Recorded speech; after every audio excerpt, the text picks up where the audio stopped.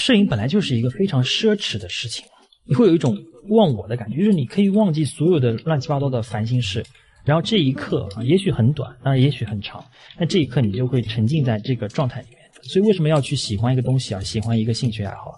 就是因为它能够让我们在一个非常平庸的、非常无聊的、非常机械的啊、非常这种日复一日的连轴转的生活里面，能够有一丝光亮啊，在那个地方照着，你会觉得说哇，原来那个地方还是有一点希望在的。好，各位同学，大家好，今天呢，我们来录一期无话不谈节目。这今天呢，刚刚过完新年啊，就是大年初七，我们就开工了。其实对我来讲，也没有什么休息不休息的。我大年初一也在干活啊，也在备课，所以说 我觉得我也是全年无休的状态。那我们今天呢，呃，我为什么要录这个视频呢？因为我觉得新的一年嘛，还是给大家多一些正能量，或者说一些鼓励啊，或者说大家来聊聊一些生活中的呃困惑，我觉得会比较有益啊。所以呢，我就收到了一个消息啊，这个是在后台有一个。粉丝的留言，他说：“呃，期待您单独讲一期如何处理好摄影兴趣与现实生存之间的矛盾的问题。我想看您的课程的人啊，都是对摄影有兴趣的，但不可否认，能够有天赋成为艺术家的是极少的，而靠摄影能够谋生的也不多。或者这要如此的话啊，如此也就很难成为自己的兴趣，必须要跟着甲方走。摄影难道只能是业余的摸索吗？或者成为抚摸的器材党？”这个问题困扰着我，希望能讲一讲啊。这个问题还很有意义啊，很有意思。这个问题很长，但其实很简单，就是讲兴趣和现实生存之间的矛盾的问题。那么这个问题啊，其实我我我我这么讲，我首先说一个，呃，我觉得都没有准备啊，我是现在临时想到，因为今天正好有点时间。摄影本来就是一个非常奢侈的事情，这个观点我不知道大家能否认同啊？真的非常奢侈。我记得有一次我跟。呃，新力啊，大家应该也知道，我们这个 B 站上面非常著名的一位，呃，真正的摄影艺术家啊，摄影艺术家或者说未来的摄影艺术大家，新力老师啊，就有一次在上海摄影艺术中心那边碰头，呃，就找了个地方坐一下聊一聊。我跟他也是第一次见面。我后来讲到这个问题，我就是摄影非常奢侈，因为他问我有没有拍照，我说我压根没有空拍照，啊，我现在有空就是看看书，然后呢就是看看照片啊，就这么回事儿。你，但是我真的很想拍，可是我没有空。我没有时间，因为我每天要带娃。我为什么刚才说大年初一也在工作呢？因为只有大年初一到初六啊，或者除夕那几天，过年那几天，我们家里人是最多的啊，然后才有人可以把我解放出来，然后我不用做家务，不用怎么带孩子啊，不用怎么带孩子，才有可能去做一点自己要做的工作，或者说去多看几页书，多写一些东西。啊，怎么怎么样的这么一些事情，但但是你你会发现，其实你真的要去每天要活着啊，或者说包括我们那时候聊聊这个问题，你会发现，你为了满足自己的工作的时间的需求。你要付出非常多的代价的，而且还有家庭，对吧？尤尤其我跟心力都是有有孩子的人，然后都是结了婚很多年，这么下来，还要他像他是全职做这个博主，然后做这个艺术家，像我是还要在学校里面教书，我们其实都没有太多的时间正儿八经的真正去做非常非常想要那种。沉浸式的拍照的体验，他跟我坦坦白说：“他说你以为我不喜欢去拿个相机在街上面扫街吗？他说我很喜欢，可是我没有时间。他现在他说他那个时候啊，不是说现在，现在可能又有有这个艺术方向，可能又有一点呃。”进步了，他那个时候就是在家里面就靠那个计算机去渲染图像出来啊。当然，这个我的理解是非常浅薄的啊，我我只能这么说啊。心里要是看到了，别生气啊，我我我没有误解你的这个意思啊。就是它是另外一种摄影，就现在比较呃比较比较前沿的这种摄影的手法。那么他就是花时间的晚上靠计算机去渲染图像出来，然后当然也有一些摄影的成分在里面做这样的一个艺术尝试。那他说我也想白天没事儿的时候去。呃，走走去扫扫街，拿个相机去拍拍，多不多好呀，多开心！这是我们摄影的初心嘛，对不对？没有做不到，我也做不到。像我现在根本不可能。你像我现在，我现在每天只有这个，我前两天发了个朋友圈啊，就是我个人的一个微信上面，就是我只有半个小时的时间可以去放风，像像坐牢一样才能够出去。为什么呢？因为这个时候正好带娃出去逛一逛，然后晒晒太阳，然后我就趁机可以拍两张照片，也就是这样。没有时间啊，没有时间。所以说你会发现。呃，尤其到了一定年纪以后啊，就是可能在大学的时候，大家不会觉得摄影是奢侈的一件事情。那个时候的奢侈，最多的可能是金钱上的奢侈，就是没钱买镜头、买器材、买胶卷，对吧？那种奢侈。但是到了工作以后，这个奢侈就不是说金钱上的奢侈，而是指时间上的，或者说一种心思上的一种负担啊。它是它会成为你的一种负担，就是当你想要让它成为你的兴趣爱好的时候，你会发现有很多事情甚至比它更重要啊。你可能觉得它这个事情可以无限的往后拖、往后放，然后最后可能渐渐渐渐就忘记、就放弃了。好，那么这是其实这是我们每个人遇到的一个困境啊。但是你会想。呃，今天我们主要是来谈一谈怎么去解决这个问题，对吧？我相信很多跟我到这个年纪的同学应该也会有类似的这种感觉，就是很忙，很忙，怎么办呢？那没有办法，就是逼自己啊。就是如果你真的喜欢这件事情的话，其实我相信肯定是有时间的。呃，我我我，比如说我举几个例子啊，比如说你要真的喜欢摄影的话，我就不信你每天上班下班这点路上。啊，或者说你就算去坐地铁，你在地铁里也可以拍组照片出来吧，对吧？那你会说，哎呀，我很忙，干嘛？这都是借口啊。然后周末带娃出去，你看我现在真的忙到这个连门都出不了。然后前段时间疫情很严重，那我怎么办？我就趁带娃的时候也可以拍两张照片，这种爱好啊。然后谁说那个喜欢摄影一定要去拍照呢？对吧？你也可以去看照片呢。你你知道很多人后来发展到后期就是不是说买器材的问题了，而是去买摄影书。啊，收藏摄影书啊，这也是一个很有意思的一个未来的，甚至是一种我觉得是一种理财的方式啊。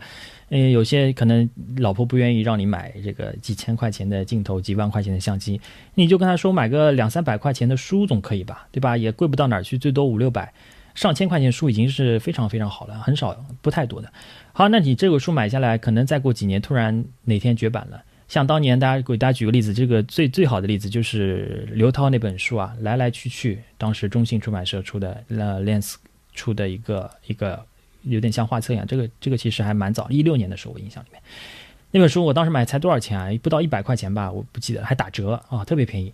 早知道那个时候多买个五六本啊，甚至买个十几二十本，现在没了，绝版了。现在你自己去，我都不记得这个网上能炒到多少钱，你自己去看一下，孔夫子上去看一下这个这个书炒多少钱，如果全新的话。对吧？所以说，你看，这也是一种。那我们当然是这个不可能活到这个年纪，不可能那么纯粹嘛，对吧？你总归喜欢一个东西嘛，总归会它给你带来一点好处嘛，对吧？你你总归是因为它给你带来一点好处，你才会喜欢，你才会有兴趣。你不要说我是一种这个清教徒式的热爱哦，我为了它奉献我的一切啊，这个是把我这么舍身取义啊，我就是为了去奉献我全部的精力、热情，甚至生命，我去投入这件事情。我觉得这个当然不至于，对吧？不至于。我们觉得现在活得现实一点的话，大家对一个东西的爱和的这个东西的兴趣，不管是人还是物，你其实都是能够在他身上获得一些满足的，你才会去喜欢他。那如果哪天当你当你都意识到说，哎呀，我要先生存了，那你当然你得先生存，因为你满足的前提是你这个人得活下去啊，对不对？你这个人如果都不存在了，或者这个人都天天挨饿，衣服穿不暖，都吃不饱的话，你怎么去谈这种？就是马斯洛的需要层次理论的最高层次自我实现呢，或者说一种对于爱和归属的，那当然到了第二层次是爱和归属，对吧？我我没记错的话，那么最基本的层次就是一个生存的这么一个要求，对吧？所以你只有满足了最基本的层次以后，你才能够逐步的上升。我记得它是分了五个层次吧，还是四个层次啊？就像一个金字塔一样的。所以越到高级的时候，你其实越需要不断的就是。底层的积累很重要，所以很多时候你会发现，年纪大的人，尤其那些退休的老老大爷啊，也是我们最最近也不是最近了，这几年就是在武康路上天天看到一些老大爷下这个叫什么，吃了饭没事儿，下午就出来拿个相机，长枪短炮就开始去拍那些路边的美女啊，就这样。我我我不记得我不记得我讲过没有，就是说我上次去那儿正好去那个野兽派买点东西。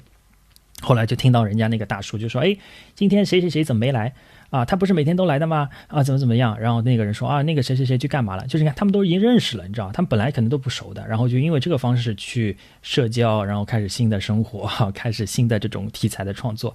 那当然也有一些年轻人都有。那你像这些人，他们是不是已经因为他们都已经不需要去操心生活的问题，所以才会去喜欢摄影呢？”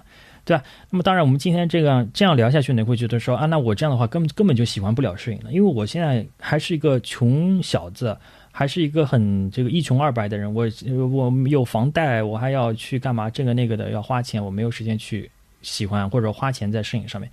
我告诉你是的，是这样的，摄影是要花钱的，摄影是很多爱好里面可能是不能说是最花钱吧，但是也是要蛮花钱的一个东西，因为 一直讲摄影穷三代嘛，对吧？你我们不举例子了啊，你这个拍照啊、买东西啊、买器材啊、买这个耗品啊，都是要花钱的。但相对来说，别的兴趣爱好，比如说体育运动，好像就没有那么花钱。你不管怎么样，跑步总不用怎么花钱吧，对吧？当然，体育运动烧到后面那就是厉害了。这个穿的衣服啊、穿的鞋子啊，甚至去的场地啊、打的球啊、用的什么牌子啊，这里面都是钱，对吧？很多很多，包括人家搞露营的、搞什么户外旅行的，这个后面其实。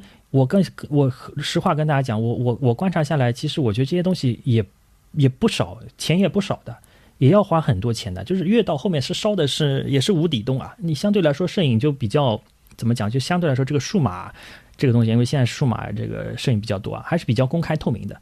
而且这牌子呢也就那么几个，而且都是比较良心的，而且比较公开透明的。你对于那些其他一些爱好，我现在唯一想到就是那种比较好的那种运动，对吧？然后有些什么别的一些就不说了，一些高级的运动那东西，我们其实这个门槛还挺高的，你就很容易被人骗的，你知道？说白了就是有这种可能性的。所以你与其去喜欢那些东西呢，你还不如去喜欢一个摄影，因为而且你这个摄影是可以流通的。你买了个器材，今天觉得不太好，过两天用了差不多不想玩了，你还可以卖掉。虽然不一定能挣钱，但是也不一定会损失太多钱，对吧？所以你看，好歹你算一笔账的话，其实摄影也还不一定那么的要花钱。好，那么钱如果在这里不是问题的话，那么就是时间。时间我刚刚讲了，也你也可以靠这个拼命的去挤出来，或者说如果你有足够的热情的话，你真的可以。我记得以前有一个人。呃，去英国读书还是去工作啊？每天拍一张照片啊，后来还出了本书，就是三百六十五天的英伦什么风情啊，干嘛的？哎，很好啊，这个坚持下来很不容易啊，对不对？而且他，我记得他都拿相机拍的，就是等于说每天要得举一个大相机去到处去拍。当然，英国可能相对来说，因为异国文化嘛，我们都比较喜欢看，而且他们外国人拍照，就是拍外国人呢，相对来说比较的出彩一点嘛，而且那边的。呃，整体环境就是包括整个街头啊，这种氛围都还比较优美，对吧？所以说还是比较好拍的。那你能不能给自己定一个计划，或者说定一个小的目标？也不是说每天拍张照片这么具体的。你比如说，比如说，呃，每个月去看个什么东西，看个什么摄影展，然后每个星期读个几页书啊，然后或者每个每每隔两三天，每个周末啊，就不一定要拿个相机正儿八经去拍照，你就是拿个手机。你有这种摄影的感觉啊？摄影不一定要去拍啊，同学们注意啊！摄影有的时候观察就是摄影。你用摄影的方式去观察这个世界，你用摄影的方式去看照片啊，或者说你用摄影的方式去甚至去理解整个人类社会发展的这么一个过程，或者去理解这个权力结构背后的一些原因，包括图像背后的一些呃这种各种各样的问题，都是摄影啊。对不对？你可以把摄影变得扩大一些，而不是真的说，哎呀，说到摄影就是要拿个相机去街上拍照这件事儿才叫摄影。那你这个太狭了，对吧？那你这个太狭了。但你这个兴趣爱好真实在是太窄了。你如果只有这个兴趣爱好的话，那你你还有个办法就是别干了，就是赶紧现在呃就是请个病假，然后好好的去体验几天。我告诉你，马上就不想体验了，你真的马上不行，因为你你人就是这样的，就是你当你体验不到的时候，你就很想去体验。可是当你去体验完了以后，发现一点意思都没有，或者说。就那样啊，就那样，对吧？然后可能过两天，哎，又有点感觉了，又想去了，但是后面又体验完了，也就那样了，就这么回事儿，对吧？这个东西，这个我们就不说了，这个大家都能理解。所以说，很多时候就是因为越得不到，你才会越觉得想要它。那么怎么办呢？你就是就每天来一点嘛，就是每隔一段时间来一点，然后也不要量，也不要太大，就像吃东西，不能每天吃个每天每天吃山珍海味，你也吃土。对吧？所以偶尔去搞一搞这个事情，我觉得挺好的。但是我觉得最重要就是说，嗯，大家不要把摄影去功利化，就是说你不要觉得好像我我喜欢拍照，就一定要靠摄影去做出点什么名堂来，也不是说一定要靠摄影去挣多少钱。啊，你会觉得说我会把摄影当成一个投资，我在上面花了多少钱买了个相机啊，我一定要把这些钱给它捞回来，这个让它回本，我要找多少人拍照，然后收多少钱啊，甚至以后发展成这个，那你累死了。我告诉你没有意思。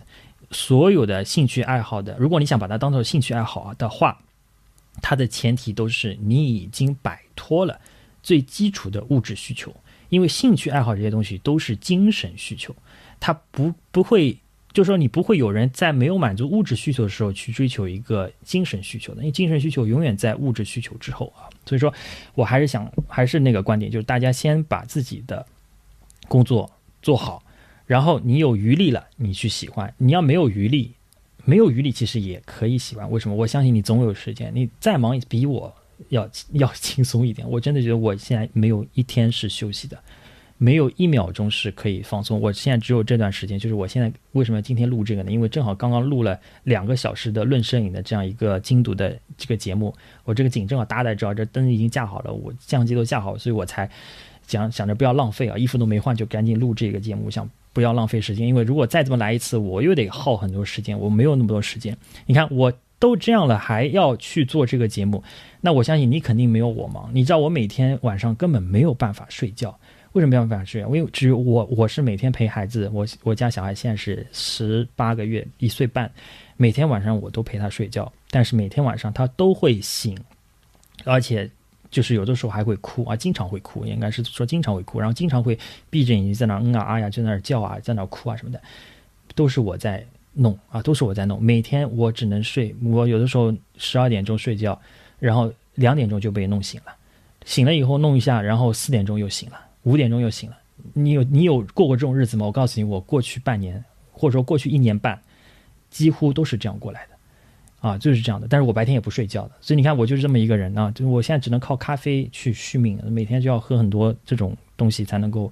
保持精神呢，所以我你看我现在讲话其实手是非常冷的，我都不知道，可能因为我衣服穿太少还是怎么样，反正就是，呃，就是这样，就是这么一个人呢，很其实真的很很辛苦的。但你这样很辛苦的话，你你你说说，那你为了啥呢？我也不知道为了啥。但是好歹人生中是有一些闪光点的部分，所以为什么要去喜欢一个东西啊？喜欢一个兴趣爱好，就是因为它能够让我们在一个非常平庸的、非常无聊的、非常机械的。啊，非常这种日复一日的连轴转的生活里面，能够有一丝光亮啊，在那个地方照着，你会觉得说哇，原来那个地方还是有一点希望在的。